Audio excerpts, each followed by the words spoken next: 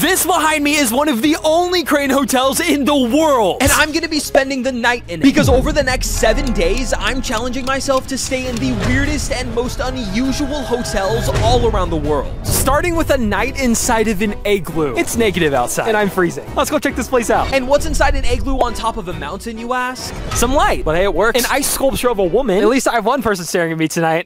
I'm so lonely. And my bed. There's not a mattress, so they gave us little fur blankets to sleep tonight. And a sleeping bag. I don't think it's actually gonna get cold in here tonight, right? Spoiler alert, it did. So it's a good thing that this is just one of the weirdest hotels that we're gonna be staying at all around the world. And our next adventure is located in the country of baguettes. Yep, that's right, we made it to France. And this next hotel is so crazy that I flew out my entire family to experience it with me. The twist? No one knows where we're actually staying tonight other than me. We are on our way to our first unique hotel, and we have been driving for about three hours in the middle of France. We're basically gonna be sleeping in the trees. You'll see what I mean in a second. Not only am I in France right now, but behind the camera is my sister, my dad, and my mom right here. Where do you think we're staying tonight, guys? All I see is trees and a beautiful white mountain. Hoping there's a beautiful chalet just around the corner. Let's go see. We're at the tippy top of the clouds. Do you see that? Those are the clouds.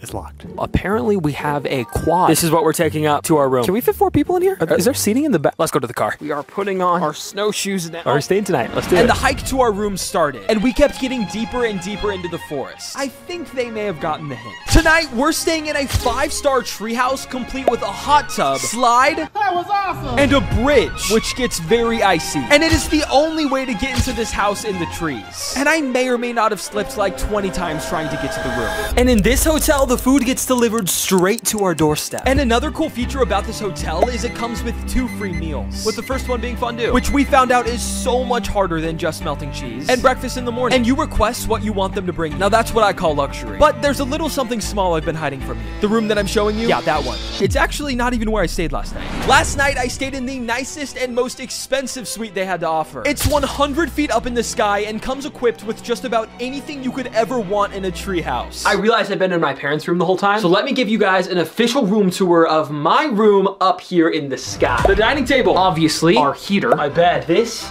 is my favorite part. Check out the bathroom. Look, everything's made out of sticks. We are literally in a tree house. But there is something on my floor that I haven't tried yet. I've been terrified too. We're 50 feet up in the sky. I feel like the whole thing's gonna snap. I'm dreaming right now that I'm in a hammock on the beach, except it's negative 32 degrees. I'm, I can't do this. Okay, that was really scary. I don't want to do that again. Check out the roof. We're coming up now. Oh my gosh. Look at how sick this is. No one's even touched any of this. But the coolest part of this whole thing is I got to meet the builder and creator of this small town of tree houses, where he showed me a secret project he's been working on for the last couple of months. Here you have the moon. what? There's not starlights. That is so sick. And the moon at night, it reflects on the mirror. So you have the moon right in front of you. So we decided to take the luggage down the treehouse in the most logical way possible. The slide, of course. All right, so both of us are pretty scared to go down this slide right now. So we're gonna do odds to see who goes down first. So okay, let's do this. Uh, one out of ten. Three, two, one, six. No, she has to go down first. Bye, Amanda. Woo! Oh my gosh! Oh my gosh! Oh my gosh! Wait, was it fun? My foot hurts. I thought she fell off the edge or she was screaming so loud. Good lord! You sure there's no other way to get down? No, there's no other way to get down. All right, three, two, one. Oh gosh! Oh. Yes. Everybody else has made it, so it's gonna be good. Yeah, it'll be fine. It'll be fun. I don't think it's painful at all. All right, ready? Three, It's not painful. Does that mean it's two. That was fun. All right, here we go. Three, two, one. Oh gosh! Oh my! Oh! But these are only two of the crazy hotels that we're going to be checking out in this video. Later, we're going to be staying in a crane, a hotel that's completely made out of glass, and so much more, with our next one being a real gondola. Where am I walking? Okay, be careful, be careful. In three, two, one. We're staying in a gondola tonight. Wait, what? Let me show you guys what we're dealing with tonight. To be honest, there's only really one room, but staying in a Matterhorn Express gondola does come with some amenities. A heater, power strip, a nightlight, but that's not all. Well, I found some storage where you can put backpacks. I would say this gondola suite is designed pretty well. There's even a welcome mat. And after we settled in, we decided to explore the farm we were staying on, which appeared to be run by cats. No, like we didn't see a single human, and there was zero check-in process. But that was until we found the coffee bar. And as we were trying to figure out how to make a nice hot cup of joe, Hello. We met our first friend on the farm. And just as things were starting to look up, it got dark outside. At night, it's a little bit scary, but it's also so quiet that it's almost peaceful. And I also had the pleasure of exploring the bathroom situation for the first time. And right as we got back into bed, we saw them. spiders. Now, I'm not super scared of these cuties, unless they're like really big. This was Amanda's worst nightmare. It's so big. I don't think I've ever seen a spider this big. I'm not trying to scare you. I, I can't look at it. It looks like sleeping here tonight isn't gonna be as easy as we think. One after another, they kept spawning in our gondola. And I'm not proud to say it, but I had to call my dad. But then we woke up to this. Literally the prettiest view of the Swiss Alps ever. And our next hotel is gonna be the craziest one yet. So after enjoying the view, we packed our bags and flew to Amsterdam because we have made it to our next hotel location. But believe it or not, we are actually staying in this crane behind me. This is one of the only hotels in the world located inside of a crane. The only way to get to the top are two elevators located on the right and left side. And the suite that we're staying in is located 164 feet in the air. The twist? I hate heights. I can barely do roller coasters. This is probably gonna be torture for me. But today, I'm gonna try to break my fear of heights by staying in probably one of the highest hotels in the entire world. Let's go see what this place is all about. And after going up not one, but two different elevators, we arrived to our suite 164 feet up in the air, where all you could see are the best views from Amsterdam and the pure terror on my face from being up this high in the sky. But that didn't stop me from giving a room tour. Well, let's get today started. Bathroom's really nice, though, if I'm being completely honest right now. Let me take you upstairs. We also have a bathtub. We have our beautiful bed right here. But to do that, I need some fuel. And lucky me, the Crane Hotel came with an interesting selection of foods. Macaroons, four to be exact, which were gone in about two seconds. Peanuts, and my favorite chip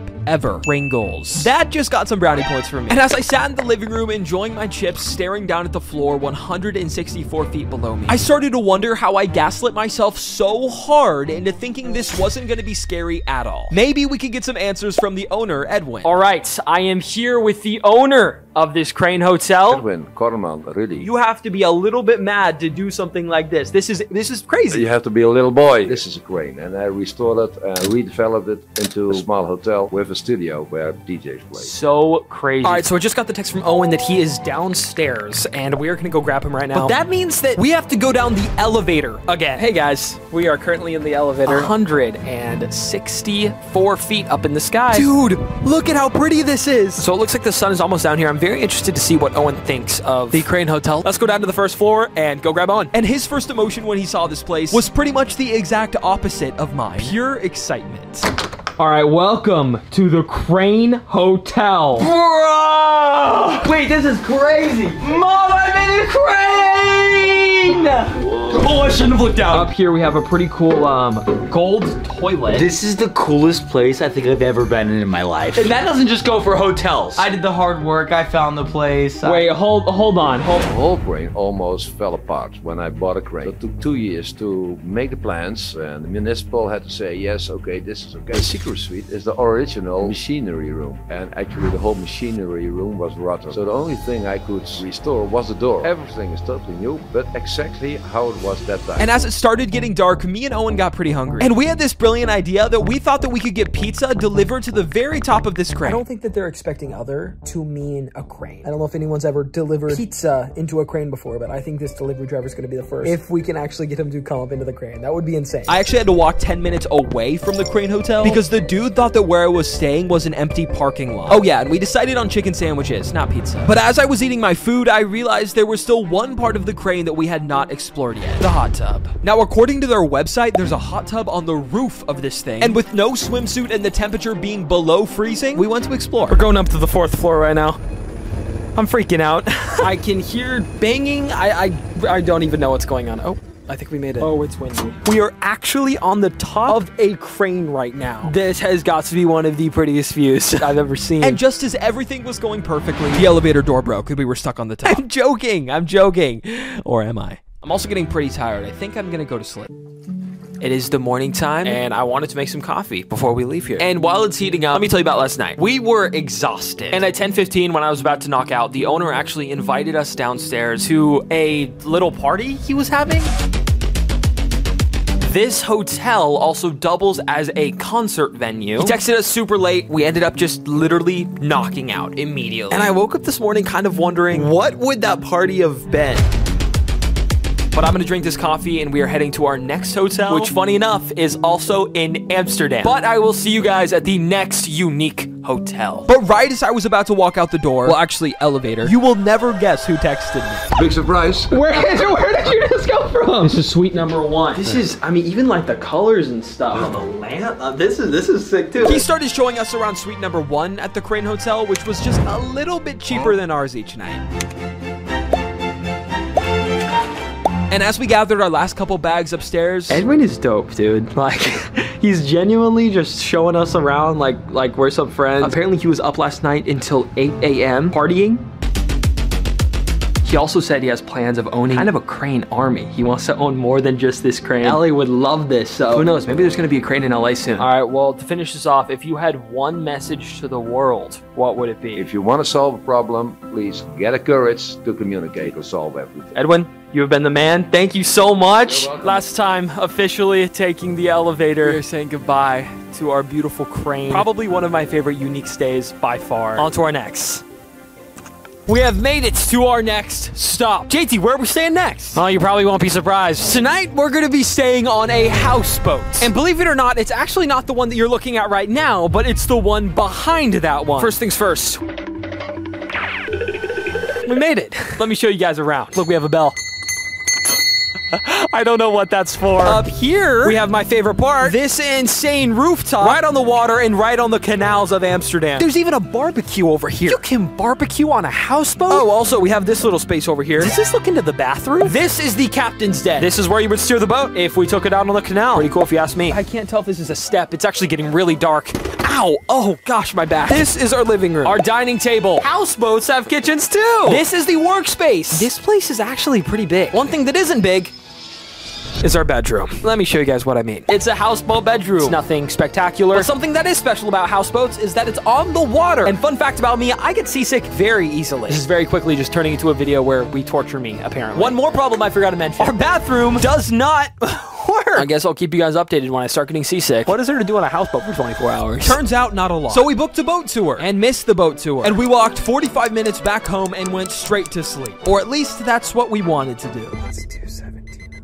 It's 2.17 in the boat is rocking so much. I'm definitely gonna have to sleep on the plane tomorrow. I'm not getting a hotel because I'm gonna beat this houseboat challenge and I'm never doing this again. I'll keep you guys updated if I actually go to bed, I guess. Good morning, friends. It is 8.45 in the morning. So let me recap you the night on a houseboat. It took me a very long time to fall asleep. That was not fun at all. But I did end up going back to sleep. I truly, honestly, think I would do it all over again. I love the beach. I love the water. I genuinely would consider living on a houseboat. My rating out of 10? A 7. We had to go to the bathroom around here as well. We did not get to use the bathroom in the boat. But there are so many positives about living on a boat like this. All right, I'm gonna go try to catch my flight. I will see you guys at the next destination. So you're gonna want to stick around.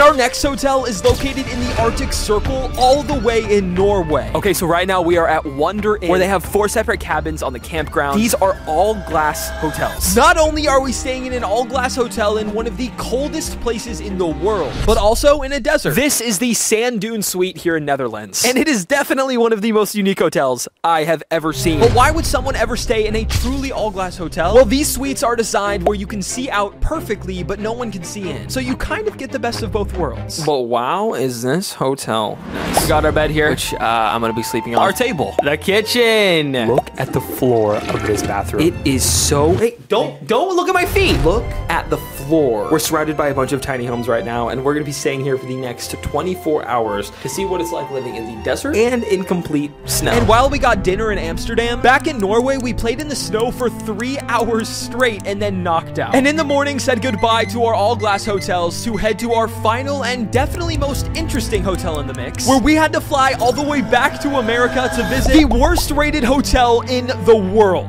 But but I never thought we'd arrive to this. We flew all the way to Iowa for this hotel, and it is completely bulldozed. Turns out Iowa has plenty one-star hotels. And we found the worst rated of the bunch was 47 minutes away. And checking in at 11 p.m. at a one-star hotel went pretty much just as expected. And after walking inside, we were immediately greeted with bugs. We actually only saw a few on the floor. And along with a few dirty towels and a very suspicious light that had a mind of its own, I feel like this place is haunted. I checked for bed bugs. There was nothing. I don't think sleeping here could be that terrible. You Just woke up a couple minutes ago. I am exhausted. We could hear our neighbors all night on both sides. We did not go to sleep for a really long time. Believe it or not, that is actually really comfy. That is at least a two-star hotel for me. It did indeed have free Wi-Fi.